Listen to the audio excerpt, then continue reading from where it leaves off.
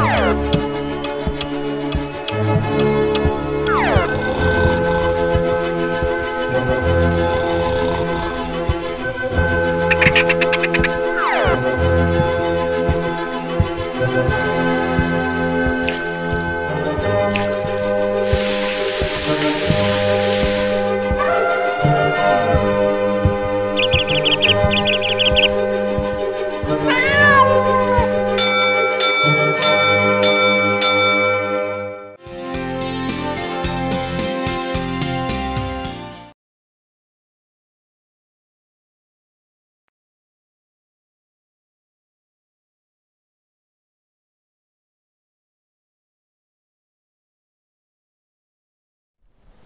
ಪ್ರೀತಿಯ ಮಕ್ಕಳಿಗೆ ಮೂರನೇ ತರಗತಿಯ ಏಳನೇ ಪಾಠದ ಮೂರನೇ ಭಾಗಕ್ಕೆ ಸ್ವಾಗತ. ನಾವು ಕಳೆದ ಎರಡು ತರಗತಿಗಳಲ್ಲಿ ಗುಣಾಕಾರದ ಕೆಲವು ವಿಶೇಷತೆಗಳನ್ನು ನಾವು ನೋಡಿದ್ದೇವೆ. ಹಲವು ವಿಚಾರಗಳನ್ನು ಕೂಡ ನಾವು ಕಲ್ತಿದ್ದೇವೆ. ಇವತ್ತು ಕೂಡ ನಾವು ಗುಣಾಕಾರದ ಕೆಲವೊಂದು ವಿಶೇಷತೆಗಳನ್ನು ನಾವು ಕಂಡುಕೊಳ್ಳಿಕ್ಕಿದ್ದೇವೆ. ಸರಿ. ಎಲ್ಲರೂ ಬಹಳ ಸಂತೋಷದಲ್ಲಿರುವ ಹಾಗೆ ಕಾಣ್ತದೆ ಅಲ್ವಾ ಏನು? ಹಾಂ, ನಾನೊಂದು ಮನೆ ಕೆಲಸ ಕೊಟ್ಟಿದ್ದೇನೆ. ಸರಿಯಾ? ಅದನ್ನೆಲ್ಲರೂ ಮಾಡಿರ್ಬೋದು. ಅದೇ ಅಲ್ವ ನಿಮ್ಮ ಸಂತೋಷಕ್ಕೆ ಕಾರಣ? ಸರಿ. ಹಾಗಾದರೆ ಆ ಒಂದು ಚಟುವಟಿಕೆಯನ್ನು ನೋಡೋಣ. ನೀವು ಆ ಚಟುವಟಿಕೆಯನ್ನು ಮಾಡಿ ನಿಮ್ಮ ಅಧ್ಯಾಪಕರಿಗೆ ಕಳುಹಿಸಿಕೊಟ್ಟಿದ್ದೀರಿ. ಅವರು ಅದನ್ನು ನೋಡಿದ್ದಾರೆ, ಅಲ್ವಾ? ಎಲ್ಲರ ಚಟುವಟಿಕೆ ಕೂಡ ಸರಿಯಾಗಿರ್ಬೋದಲ್ವಾ? ನಾವು ಆ ಚಟುವಟಿಕೆಯ ಉತ್ತರಗಳನ್ನು ಹೇಗೆ ಕಂಡು ಹಿಡಿದದ್ದು ಸರಿ, ಒಂದು ಮಾಯಾ ಚೌಕ ಅಲ್ವಾ? ಒಂದರಿಂದ ಹತ್ತರವರೆಗಿನ ಒಂದು ಮಾಯಾ ಚೌಕವನ್ನು ಉಪಯೋಗಿಸಿಕೊಂಡು ನಾವು ಅದರ ಉತ್ತರವನ್ನು ಕಂಡುಹಿಡಿದಿದ್ದೇವೆ. ಸರಿ, ಮತ್ತೊಮ್ಮೆ ಆ ಚಟುವಟಿಕೆಯನ್ನು ನೋಡೋಣ.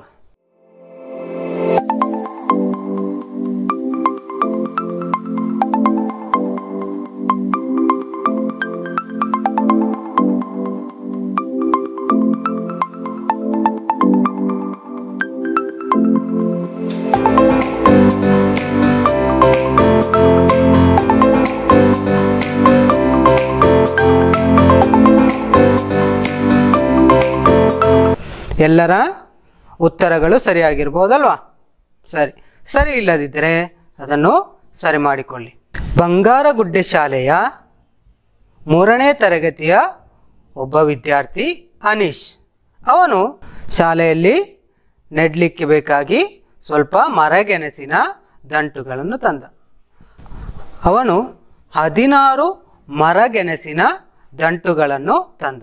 ಅದನ್ನು ಯಾವ ರೀತಿ ನೆಡಬೇಕು ಎಂಬುದಾಗಿ ಕ್ಲಬ್ಬಿನ ಸದಸ್ಯರು ಚಿತ್ರ ಮಾಡಿದ್ರು, ಚರ್ಚಿಸಿದರು. ಅವರು ಬೇರೆ ಬೇರೆ ರೀತಿಯಲ್ಲಿ ಮರಗೆಣಸಿನ ದಂಟನ್ನು ನೆಡಲು ಆಲೋಚಿಸಿದರು. ಅದರ ಒಂದು ಚಿತ್ರವನ್ನು ನೋಡೋಣ. ಕಾಣ್ತದಲ್ವಾ? ಒಂದನೇ ಚಿತ್ರ ನೋಡಿ ಒಮ್ಮೆ ಒಂದು ಸಾಲಿನಲ್ಲಿ ಎರಡು, ಅಂದರೆ ಅಡ್ಡಕ್ಕೆ ಎರಡು ಚುಕ್ಕೆಗಳನ್ನು ಹಾಕಿದ್ದಾರೆ. ಅಂದರೆ ಅದು ಮರಗೆಣಸಿನ ದಂಟು. ಅದೇ ರೀತಿ ಸಾಲುಗಳು ನೀಟಕ್ಕೆ ಎಂಟು. ಎಂಟು ಸಾಳುಗಳಲ್ಲಾಗಿ ನೆಡಲಾಗಿದೆ. ಅಂದರೆ ಎರಡರಂತೆ ಇರುವ ಎಂಟು ಸಾಲು ಅಂದರೆ ಎರಡು ಗುಣಿಸು ಎಂಟು ಸಮ ಹದಿನಾರು. ಅದೇ ರೀತಿ ಎರಡನೇ ಚಿತ್ರ ನೋಡಿ. ಎರಡು ಸಾಲು ಒಂದು ಸಾಲಿನಲ್ಲಿ ಎಂಟು ದಂಟುಗಳಂತೆ. ಅಂದರೆ ಎಂಟು ಗುಣಿಸು ಎರಡು ಸಮ ಹದಿನಾರು. ಮೂರನೇ ಚಿತ್ರ ನೋಡಿ. ಒಂದು ಸಾಲಿನಲ್ಲಿ ನಾಲ್ಕರಂತೆ ನಾಲ್ಕು ಸಾಲುಗಳು. ಅಂದರೆ ನಾಲ್ಕು ಗುಣಿಸು ನಾಲ್ಕು, ಹದಿನಾರು. ಅದು ನೋಡಿ, ಹದಿನಾರು. ನೋಡಿ, ಹದಿನಾರು ಮರಗೆಣಸಿನ ದಂಟನ್ನು ಬೇರೆ ಬೇರೆ ರೀತಿಯಲ್ಲಿ ನೆಡಬಹುದು ಎಂಬುದಾಗಿ ಆಲೋಚಿಸಿದರು. ಆದರೆ ಇಪ್ಪತ್ತ ನಾಲ್ಕು ಮರಗೆಣಸಿನ ದಂಟುಗಳಾಗಿದ್ದರೆ ಯಾವೆಲ್ಲ ರೀತಿಯಲ್ಲಿ ನೆಡಬಹುದು ಎಂಬುದನ್ನು ನೀವು ನೋಟ್ ಪುಸ್ತಕದಲ್ಲಿ ಚಿತ್ರ ಮಾಡಿ ನಿಮ್ಮ ಅಧ್ಯಾಪಕರಿಗೆ ಕಳುಹಿಸಿಕೊಡಬೇಕು. ಕಳುಹಿಸಿಕೊಡ್ತೀರಲ್ವಾ? ಸರಿ. ಹಾಗಾದರೆ ನಾವು ಮುಂದಿನ ಚಟುವಟಿಕೆಗೆ ಹೋಗೋಣ. ಬಂಗಾರಗುಡ್ಡೆ ಶಾಲೆಯ ಕೃಷಿ ಸಂಘಕ್ಕೆ ಹೊಸ ಸದಸ್ಯರನ್ನು ಸೇರಿಸಿಕೊಳ್ಳಲಾಯಿತು. ನಂತರ ಅವರನ್ನು ಎಂಟು ಗುಂಪುಗಳನ್ನಾಗಿ ಮಾಡಲಾಯಿತು. ಎಷ್ಟು ಗುಂಪು? ಎಂಟು ಗುಂಪುಗಳನ್ನಾಗಿ ಮಾಡಲಾಯಿತು. ಪ್ರತಿಯೊಂದು ಗುಂಪಿನಲ್ಲಿ ನಾಲ್ಕನೇ ತರಗತಿಯ ಮೂರು ಮಕ್ಕಳು ಮತ್ತು ಐದನೇ ತರಗತಿಯ ನಾಲ್ಕು ಮಕ್ಕಳು ಇದ್ದಾರೆ. ಹಾಗಾದರೆ ಸಂಘದಲ್ಲಿ ಒಟ್ಟು ಎಷ್ಟು ಸದಸ್ಯರಿದ್ದಾರೆ? ಲೆಕ್ಕ ಆಗ್ಬೋದಲ್ವಾ? ಒಟ್ಟು ಎಷ್ಟು ಗುಂಪು? ಎಂಟು ಗುಂಪು ಅಲ್ವಾ? ಒಂದು ಗುಂಪಿನಲ್ಲಿ ನಾಲ್ಕನೇ ತರಗತಿಯ ಮೂರು ಮಕ್ಕಳು ಮತ್ತು ಐದನೇ ತರಗತಿಯ ನಾಲ್ಕು ಮಕ್ಕಳು. ಅಂದರೆ ಎಷ್ಟು? ಏಳು ಮಕ್ಕಳಲ್ವಾ? ಏಳು ಮಕ್ಕಳು ಒಂದು ಗುಂಪಿನಲ್ಲಿ ಇದ್ದಾರೆ. ಹಾಗಾದರೆ ಎಂಟು ಗುಂಪಿನಲ್ಲಿ ಒಟ್ಟು ಎಷ್ಟು ಮಂದಿ ಇದ್ದಾರೆ ಹೇಗೆ ಕಂಡುಹಿಡಿಯುವುದು? ಮಾಯಾ ಚೌಕವನ್ನು ಉಪಯೋಗಿಸಿಕೊಂಡು ನಮಗೆ ಕಂಡುಹಿಡಿಯಬಹುದಲ್ವಾ? ಏಳರಂತೆ ಎಂಟು ಗುಂಪು, ಅಲ್ವಾ? ಏಳು ಗುಣಿಸು ಎಂಟು. ಸಮ ಎಷ್ಟು? ಐವತ್ತ ಆರು, ಅಲ್ವಾ? ಸರಿ. ಬಂಗಾರ ಗುಡ್ಡೆ ಶಾಲೆಯ ಕೃಷಿ ಸಂಘದ ಸದಸ್ಯರು. ಇನ್ನೂ ಸ್ವಲ್ಪ ತರಕಾರಿ ಕೃಷಿಗಳನ್ನು ಮಾಡಲಿಕ್ಕೆ ಬೇಕಾಗಿ ಬೀಜಗಳನ್ನು ಸಂಗ್ರಹಿಸುವುದಕ್ಕಾಗಿ ಅವರು ಹತ್ತಿರದ ಕೃಷಿ ಭವನಕ್ಕೆ ತೆರಳಿದರು. ಅಲ್ಲಿ ಅವರು ಬೇರೆ ಬೇರೆ ರೀತಿಯ ತರಕಾರಿ ಬೀಜಗಳನ್ನು ಪಡೆದುಕೊಂಡರು. ಸನ ಮತ್ತು ಲತಾ ಕೃಷಿ ಭವನದಿಂದ ಹಾಗಲಕಾಯಿ ಬೀಜಗಳನ್ನು ತೆಗೆದುಕೊಂಡರು. ಅವರು ಎಷ್ಟೆಷ್ಟು ಹಾಗಲಕಾಯಿ ಬೀಜಗಳನ್ನು ತೆಗೆದುಕೊಂಡರು ಎಂಬುದನ್ನು ನೋಡೋಣ. ಅವರು ಏನೋ ಮಾತಾಡ್ತಾ ಇದ್ದಾರೆ, ಒಮ್ಮೆ ನೋಡಿ. ಸನ ಹೇಳ್ತಾಳೆ, ನನ್ನ ಕೈಯಲ್ಲಿ ಹನ್ನೆರಡು ಪ್ಯಾಕೆಟ್ಗಳಿವೆ. ಲತಾ ಹೇಳ್ತಾಳೆ, ನನ್ನ ಕೈಯಲ್ಲಿ ಹದಿನಾರು ಪ್ಯಾಕೆಟ್ಗಳಿವೆ. ಒಂದು ಪ್ಯಾಕೆಟ್ನಲ್ಲಿ ನಾಲ್ಕರಂತೆ ಬೀಜಗಳಿವೆ. ಹಾಗಾದರೆ ಸನ ಮತ್ತು ಲತಾರ ಕೈಯಲ್ಲಿ ಎಷ್ಟೆಷ್ಟು ಬೀಜಗಳಿವೆ? ಹೇಗೆ ಕಂಡುಹಿಡಿಯುವುದು? ಸರಿ ನಾವು ಅದನ್ನು ಕಂಡುಹಿಡಿಯೋಣ. ಸನಾಳ ಕೈಯಲ್ಲಿರುವ ಪ್ಯಾಕೆಟ್ ಎಷ್ಟು? ಹನ್ನೆರಡು. ಒಂದು ಪ್ಯಾಕೆಟ್ನಲ್ಲಿ ಇರುವಂತಹ ಬೀಜಗಳ ಸಂಖ್ಯೆ ಎಷ್ಟು? ನಾಲ್ಕು. ಅಂದರೆ ಹನ್ನೆರಡು ಗುಣಿಸು ನಾಲ್ಕು ಸಮ ಎಷ್ಟು? ಗೊತ್ತಾಗಲಿಲ್ಲಲ್ಲ?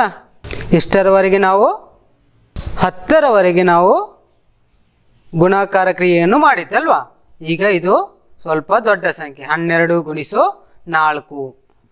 ಆದರೆ ನಾವೊಂದು ಕೆಲಸ ಮಾಡೋಣ. ಹನ್ನೆರಡನ್ನು ಎರಡು ಭಾಗ ಮಾಡೋಣ. ಹೇಗೆ?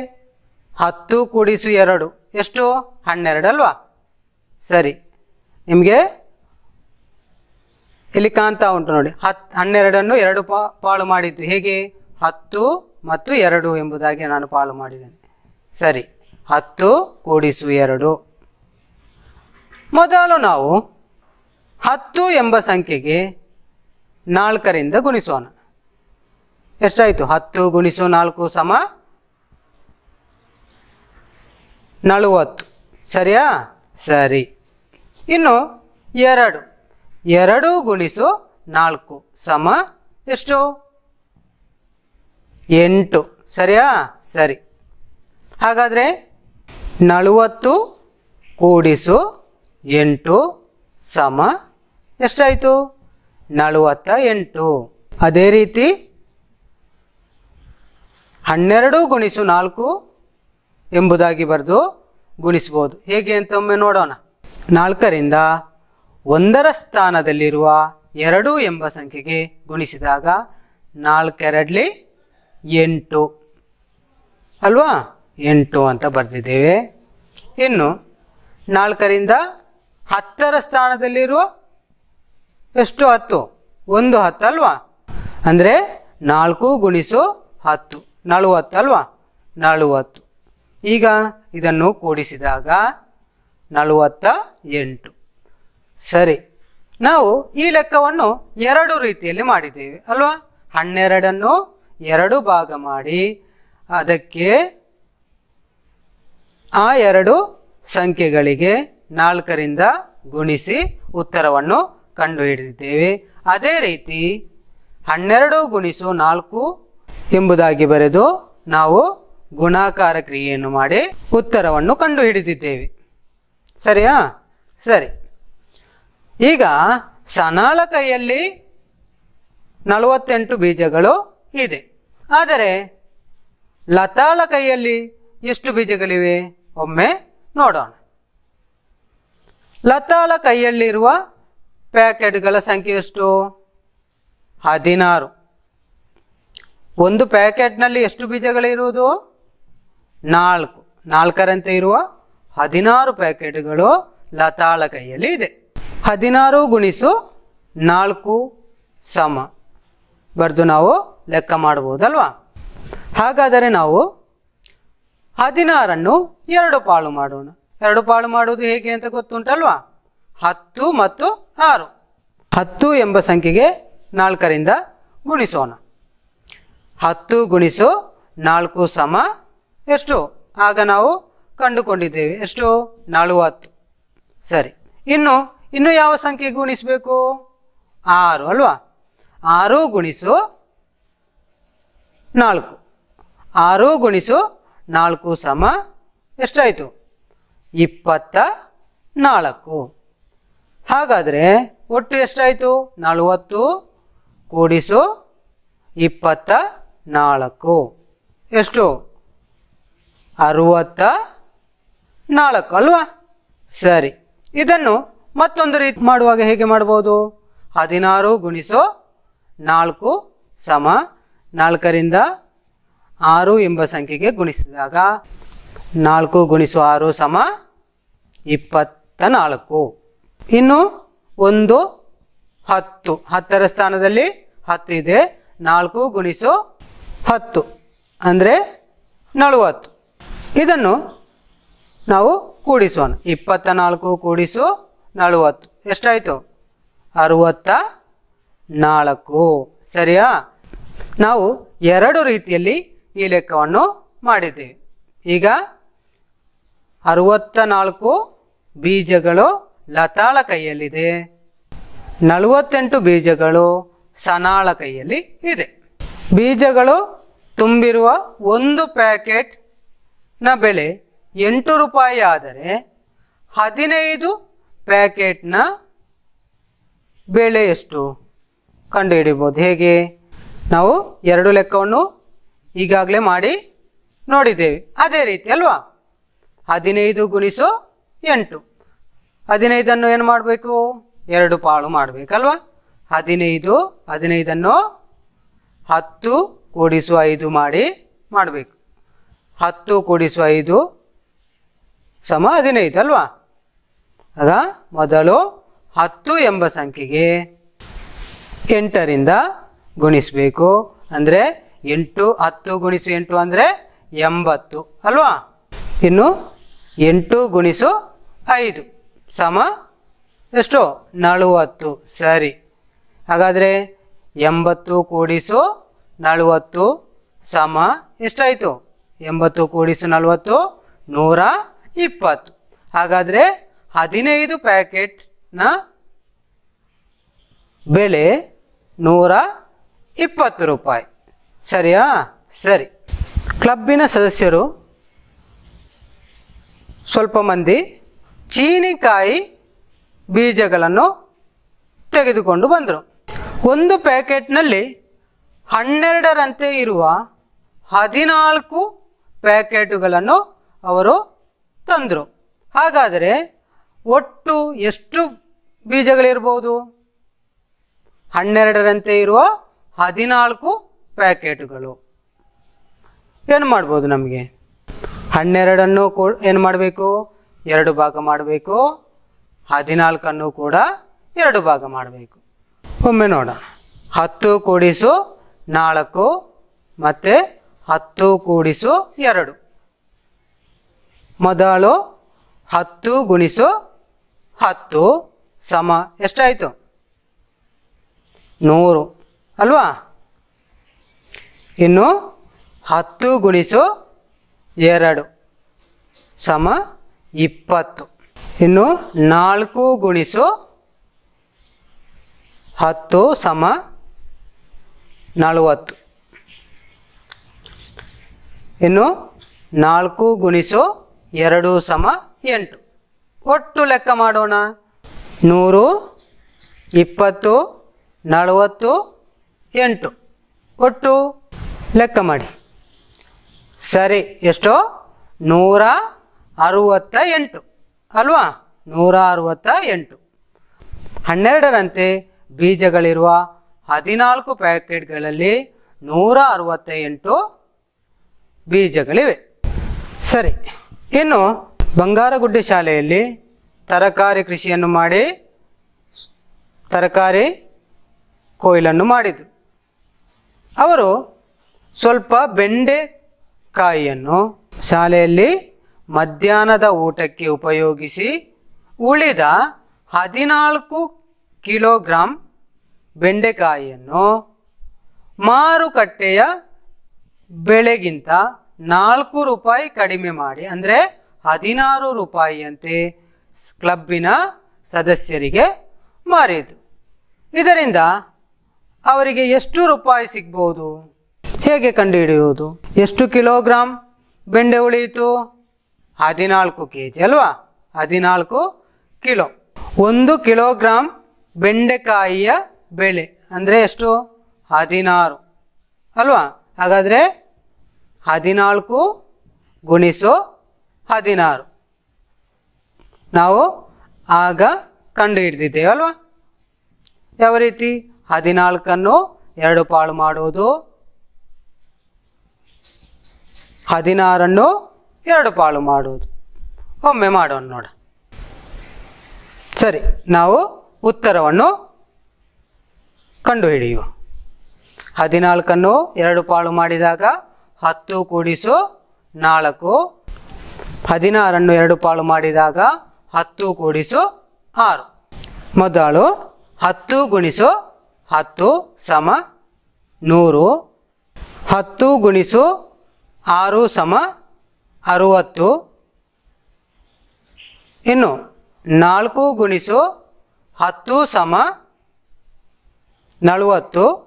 ನಾಲ್ಕು ಗುಣಿಸು ಆರು ಸಮ ಇಪ್ಪತ್ತ ನಾಲ್ಕು. ಈಗ ನೂರು, ಅರುವತ್ತು, ನಲವತ್ತು, ಇಪ್ಪತ್ತ ನಾಲ್ಕು. ಇದನ್ನು ಕೂಡಿಸಬೇಕು ನಮಗೆ. ಎಷ್ಟಾಯಿತು? ಇನ್ನೂರ ಇಪ್ಪತ್ತ ನಾಲ್ಕು. ಸರಿ. ಇದನ್ನು ಬೇರೆ ರೀತಿಯಲ್ಲಿ ಮಾಡುವಾಗ, ಅಂದರೆ ಹದಿನಾಲ್ಕು ಗುಣಿಸು ಹದಿನಾರು ಅಂದು ಬರೆದಾಗ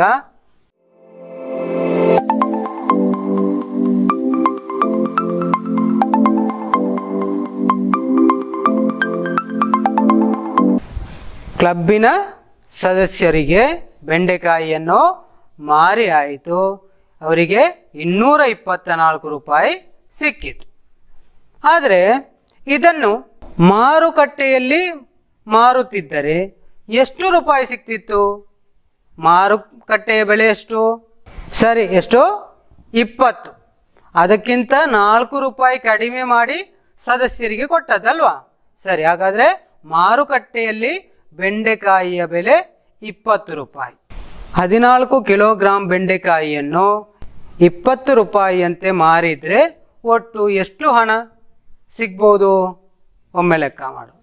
ಹದಿನಾಲ್ಕು ಗುಣಿಸು ಇಪ್ಪತ್ತು. ಸರಿ, ಹದಿನಾಲ್ಕನ್ನು ಎರಡು ಬಾಳು ಮಾಡುವುದು ಅಂದರೆ ಹತ್ತು ಕೂಡಿಸು ನಾಲ್ಕು, ಇಪ್ಪತ್ತನ್ನು ಎರಡು ಪಾಳು ಮಾಡುವುದು. ಹತ್ತು ಗುಣಿಸು ಹತ್ತು ಸಮ ನೂರು, ಪುನಃ ಹತ್ತು ಗುಣಿಸು ಹತ್ತು ಸಮ ನೂರು. ನಾಲ್ಕು ಗುಣಿಸು ಹತ್ತು ಸಮ ನಲವತ್ತು. ಪುನಃ ನಾಲ್ಕು ಗುಣಿಸು ಹತ್ತು ಸಮ ನಲವತ್ತು. ಒಟ್ಟು ಎಷ್ಟಾಯಿತು? ಇನ್ನೂರ ಎಂಬತ್ತು. ಸರಿಯಾ? ಇಂತಹ ಚಟುವಟಿಕೆಯನ್ನು ನಮಗೆ ಮಾಡಲಿಕ್ಕೆ ಸಾಧ್ಯ ಅಲ್ವಾ? ಪಾಠ ಪುಸ್ತಕದ ನೂರ ಹದಿನೈದನೇ ಪುಟ ಮತ್ತು ನೂರ ಹದಿನಾರನೇ ಪುಟದಲ್ಲಿ ಕೆಲವೊಂದು ಚಟುವಟಿಕೆಯನ್ನು ನೀಡಿದ್ದಾರೆ. ನಾವು ಕೆಲವೊಂದು ಚಟುವಟಿಕೆಯನ್ನು ಮಾಡೋಣ. ಮೊದಲ ಚಟುವಟಿಕೆ ನೋಡಿ. ಬಾಬುವಿಗೆ ಹನ್ನೆರಡು ಸಾಬೂನುಗಳು ಬೇಕು. ಎರಡು ಅಂಗಡಿಗಳಿಗೆ ಹೋಗಿ ಬೆಳೆಯನ್ನು ವಿಚಾರಿಸಿದನು. ಮೊದಲಿನ ಅಂಗಡಿಯಲ್ಲಿ ಮೂರು ಸಾಬೂನು ಕೊಂಡರೆ ಒಂದು ಸಾಬೂನು ಉಚಿತವಾಗಿ ನೀಡ್ತಾರೆ. ಆದರೆ ಸಾಬೂನಿನ ಬೆಲೆ ಹದಿನಾಲ್ಕು ರೂಪಾಯಿ. ಎರಡನೇ ಅಂಗಡಿಯಲ್ಲಿ ಒಂದು ಸಾಬೂನಿನ ಬೆಲೆ ಹನ್ನೆರಡು ರೂಪಾಯಿ. ಈಗ ಬಾಬು ಯಾವ ಅಂಗಡಿಯಿಂದ ಸಾಬೂನು ಖರೀದಿಸಿದರೆ ಅವನಿಗೆ ಲಾಭ? ಏನು ಮಾಡಬೇಕು ನಾವು? ಎರಡು ಅಂಗಡಿಯ ಬೆಲೆಯನ್ನು ಕಂಡುಹಿಡಿಬೇಕಲ್ವ? ಹನ್ನೆರಡು ಸಾಬೂನಿಗೆ ಹದಿನಾಲ್ಕು ರೂಪಾಯಿ ಅಂತೆ. ಅಂದರೆ ನಾವು ಬೆಲೆಯನ್ನು ಕಂಡುಹಿಡಿಯಬೇಕಲ್ವಾ? ಬಾಬು, ಮೊದಲ ಅಂಗಡಿಯಲ್ಲಿ ಎಷ್ಟು ಸಾಬೂನು ಖರೀದಿಸಬೇಕು? ಹನ್ನೆರಡು ಖರೀದಿಸಬೇಕಲ್ಲ. ಹನ್ನೆರಡು ಅಲ್ವಾ ಅಂತ ಹೇಳಿ, ಅಲ್ಲ? ಮೂರು ಖರೀದಿಸಿದರೆ ಒಂದು ಉಚಿತವಾಗಿ ಸಿಗ್ತದೆ. ಆಗ ನಾಲ್ಕು ಆಯ್ತಲ್ವಾ? ಆರು ಸಾಬೂನು ಖರೀದಿಸಿದರೆ ಎಷ್ಟು ಉಚಿತವಾಗಿ ಸಿಗ್ತದೆ? ಎರಡು ಸಿಗ್ತದೆ, ಅಲ್ವಾ? ಎರಡು. ಆಗ ಅಷ್ಟು ಒಟ್ಟು ಎಷ್ಟಾಯಿತು? ಎಂಟು ಸಾಬೂನು ಆಯಿತು. ಇನ್ನು ಪುನಃ ಹನ್ನೆರಡು ಸಾಬೂನು ಆಗಬೇಕಾದ್ರೆ ಎಷ್ಟಾಗಬೇಕು? ನಾಲ್ಕು ಸಾಬೂನುಗಳು ಬೇಕು. ಸರಿಯಾ? ಅಂದರೆ ಒಂಬತ್ತು ಸಾಬೂನು ಖರೀದಿಸಿದರೆ ಅವನಿಗೆ ಮೂರು ಸಾಬೂನು ಉಚಿತವಾಗಿ ಸಿಗ್ತದೆ. ಸರಿಯಾ? ಹಾಗಾದರೆ ಅವನು ಒಂಬತ್ತು ಸಾಬೂನು ಖರೀದಿಸಿದರೆ ಸಾಕು. ಆದರೆ ಒಂದು ಸಾಬೂನಿನ ಬೆಲೆ ಎಷ್ಟು? ಹದಿನಾಲ್ಕು ಅಲ್ವಾ? ಹಾಗಾದರೆ ಒಂಬತ್ತು ಸಾಬೂನಿಗೆ ಹದಿನಾಲ್ಕು ರೂಪಾಯಿ ಅಂತ ಎಷ್ಟಾಗ್ತದೆ? ಕಂಡುಹಿಡಿಯಬಹುದಲ್ವ ನಮಗೆ? ಹದಿನಾಲ್ಕು ಗುಣಿಸು ಒಂಬತ್ತು. ಮಾಡಿ ಕಂಡುಹಿಡಿಯಬಹುದಲ್ವಾ? ಹದಿನಾಲ್ಕನ್ನು ಎರಡು ಪಾಳು ಮಾಡುವುದು. ಅಂದರೆ ಹತ್ತು ಗುಣಿಸು ನಾಲ್ಕು. ಅಂದರೆ ಹತ್ತು ಕೂಡಿಸು ನಾಲ್ಕು ಅಲ್ವಾ? ಹದಿನಾಲ್ಕು. ಮೊದಲು ನಾವು ಹತ್ತು ಗುಣಿಸು ಒಂಬತ್ತು ಸಮ ತೊಂಬತ್ತು ಇನ್ನು ನಾಲ್ಕು ಗುಣಿಸು ಒಂಬತ್ತು ಸಮ ಮೂವತ್ತ ಆರು ಎಷ್ಟಾಯಿತು? ತೊಂಬತ್ತು ಕೂಡಿಸು ಮೂವತ್ತ ಆರು ನೂರ ಇಪ್ಪತ್ತ ಆರು ಅಲ್ವಾ? ನೂರ ಇಪ್ಪತ್ತಾರು ರೂಪಾಯಿ ಆಗ್ತದೆ. ಹಾಗಾದರೆ ಎರಡನೇ ಅಂಗಡಿಯಲ್ಲಿ ಅವನು ಹನ್ನೆರಡು ಸಾಬೂನುಗಳನ್ನು ಖರೀದಿಸಬೇಕು. ಆದರೆ ಬೆಲೆ ಎಷ್ಟು? ಹನ್ನೆರಡು ರೂಪಾಯಿ. ಹಾಗಾದರೆ ಅದನ್ನು ನಾವು ಕಂಡುಹಿಡಿಯುವ. ಹನ್ನೆರಡು ಸಾಬೂನಿಗೆ ಹನ್ನೆರಡು ರೂಪಾಯಿ ಅಂತೆ ಎಷ್ಟಾಗ್ತದೆ? ಒಟ್ಟು ಸಾಬೂನು ಹನ್ನೆರಡು, ಒಂದು ಸಾಬೂನಿನ ಬೆಲೆ ಹನ್ನೆರಡು ರೂಪಾಯಿ. ಅಂದರೆ ಹನ್ನೆರಡು ಗುಣಿಸು ಹನ್ನೆರಡು. ಹನ್ನೆರಡನ್ನು ನಾವು ಏನು ಮಾಡಬೇಕು? ಎರಡು ಪಾಳು ಮಾಡಬೇಕು. ಅಂದರೆ ಹನ್ನೆರಡು ಹತ್ತು ಕೂಡಿಸು ಎರಡು ಗುಣಿಸು ಹತ್ತು ಕೂಡಿಸು ಎರಡು. ಮೊದಲು ಹತ್ತು ಗುಣಿಸು ಹತ್ತು. ಹತ್ತು ಗುಣಿಸು ಹತ್ತು ಸಮ ನೂರು. ಹತ್ತು ಗುಣಿಸು ಎರಡು ಸಮ ಇಪ್ಪತ್ತು. ಇನ್ನು ಎರಡು ಗುಣಿಸು ಹತ್ತು ಸಮ ಇಪ್ಪತ್ತು, ಎರಡು ಗುಣಿಸು ಎರಡು ಸಮ ನಾಲ್ಕು. ಒಟ್ಟು ಎಷ್ಟಾಯಿತು? ಒಟ್ಟು ಎಷ್ಟಾಯಿತು? ನೂರ ನಲವತ್ತ ನಾಲ್ಕು ರೂಪಾಯಿ.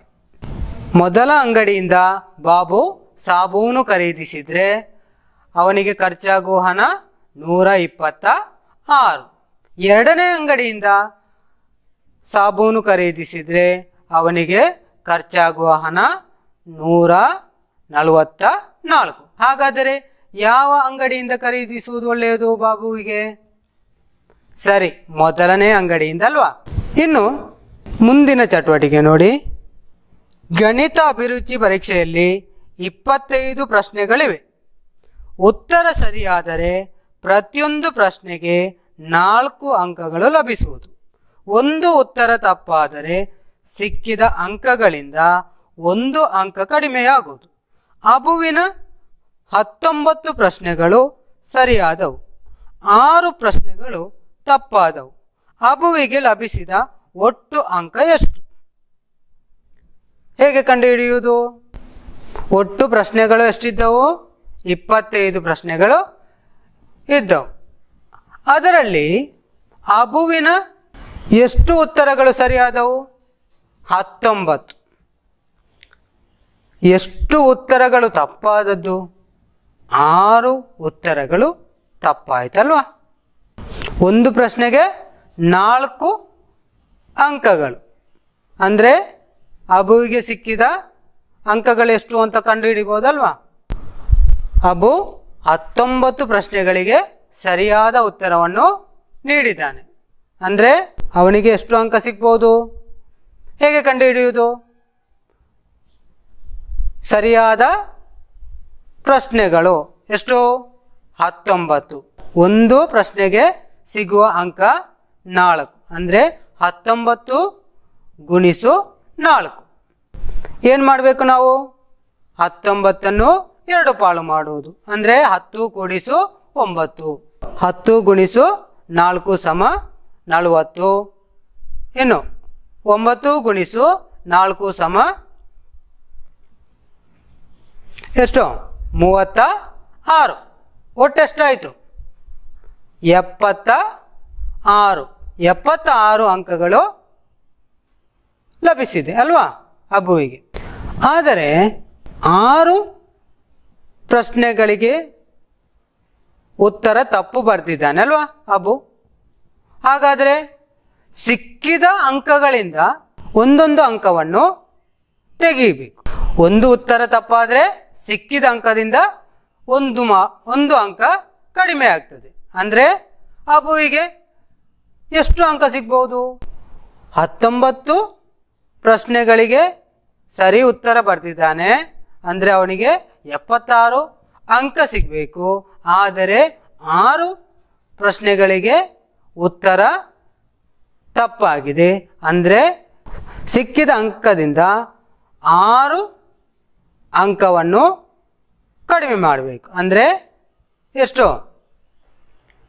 ಆರು ಅಂಕ ಕಡಿಮೆ ಮಾಡಿ, ಮಾಡಿದರೆ ಅಬುವಿಗೆ ಸಿಕ್ಕಿದ್ದು ಎಷ್ಟು? ಅಬುವಿಗೆ ಸಿಕ್ಕಿದ ಅಂಕ ಎಪ್ಪತ್ತಾರು ಕಳೆ ಆರು ಸಮ ಎಪ್ಪತ್ತು. ಸರಿಯಾ? ಸರಿ.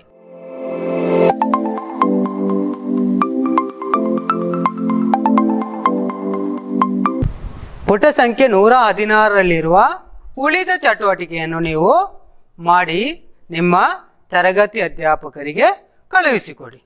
ನಮಸ್ತೆ.